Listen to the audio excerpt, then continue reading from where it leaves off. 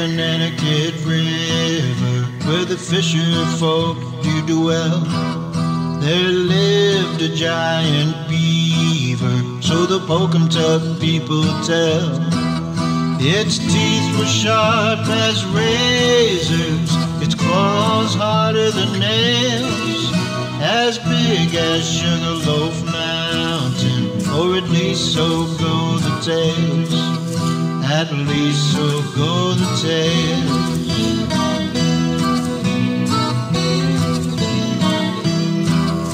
It hunted down in the murky depths. It ate everything in sight. And when the creature got too hungry, out from the river it crept at night.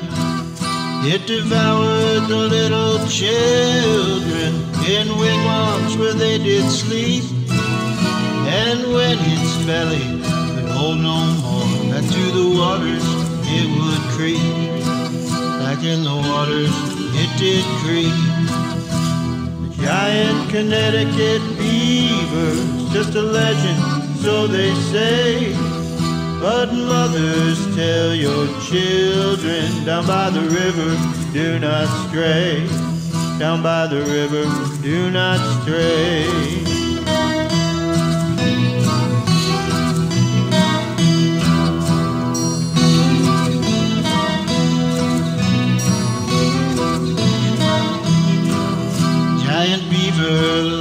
Not a single fish. It ate the striper, it ate the shad.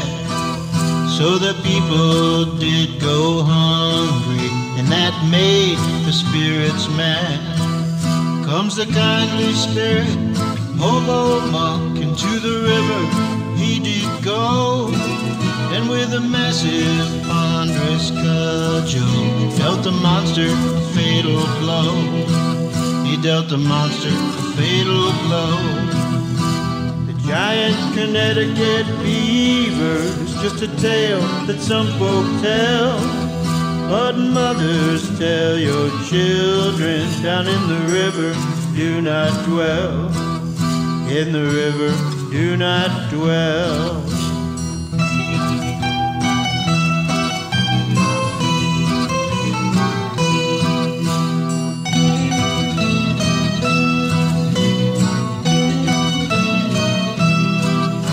Sank down to the river's silty floor, where it turned as hard as stone. And some say that's where you'll find it, though I wouldn't go alone. The shad returned, the striper too, and the creature came no more. So give thanks to old hobo monk, and don't disturb the river's flow.